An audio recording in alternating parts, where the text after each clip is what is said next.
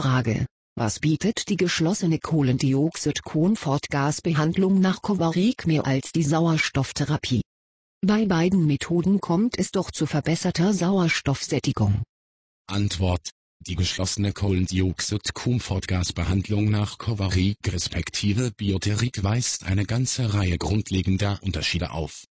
Die wichtigsten Unterschiede CO2-Behandlung erhöht die Sauerstoffsättigung durch den aktiven Training der Gegenregulation, durch das Bohreffekt.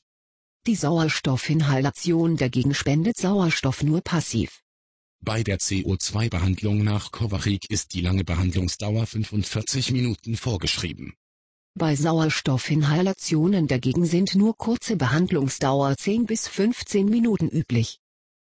Der Körper kann keinen Vorrat an Sauerstoff anlegen. Durch die serielle Kohlensäurebehandlung wird eine jahrelang andauernde positive Sauerstoffsättigung antrainiert. Die serielle Sauerstoffinhalation ist passiv und bewirkt nur episodische, also keine nachträgliche Verbesserung der Sauerstoffsättigung. Die CO2-Behandlung hat keine Nachteile, weil keine Sauerstoffradikale entstehen. Aufbauende Stoffe werden vermehrt synthetisiert. Dies bewirkt eine Verjüngung, ein aktives Anti-Aging. Die Sauerstofftherapie dagegen steigert die Verbrennungsprozesse. Sauerstoffradikale zerstören aufbauende körperlichen Substanzen zum Beispiel Hormone, Enzyme, Proteine und andere aufbauende körperlichen Substanzen. Dies bewirkt eine vorzeitige Alterung. Das CO2 selbst ist ein Radikalempfänger. Es sind keine zusätzliche Ausgleichsstoffe und keine Nebenkosten nötig.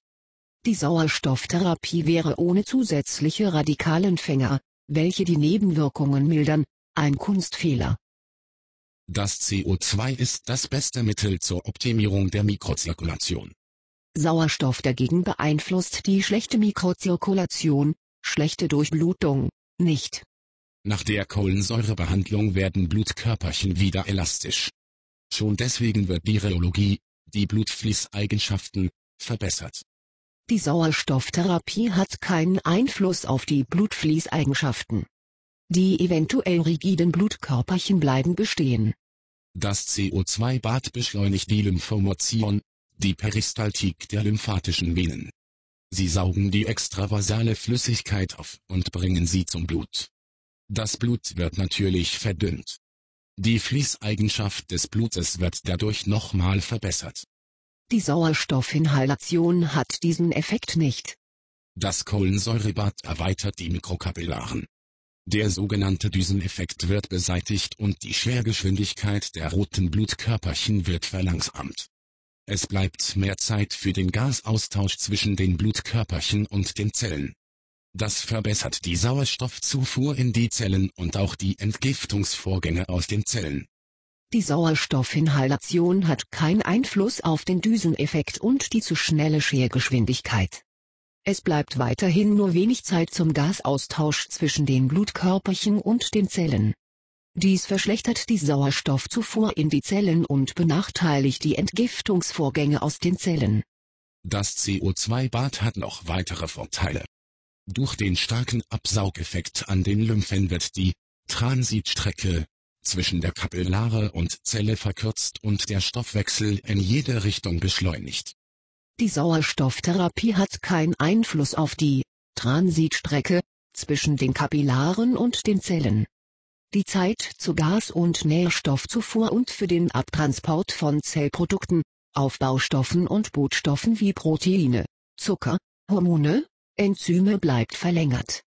Durch den Ansaugeffekt der CO2-Behandlung wird das Blut mit viel nährstoffreicher Lymphe mit Proteinen, Hormonen und Botenstoffen angereichert. Das wirkt wie innere Nährstoffinfusion. Die Sauerstofftherapie bringt dem Blut keine neue Aufbaustoffe, die lange CO2-Behandlung versetzt den Körper in die trophotrope, anabole Aufbauphase. Neue Aufbaustoffe werden in der Peripherie sogar in der Größenordnung von bis zu 200 Prozent und mehr zusätzlich synthetisiert. Das gilt nicht für die katabole Sauerstoffinhalation. Dabei werden die alte Baustoffe an der Peripherie verbrannt.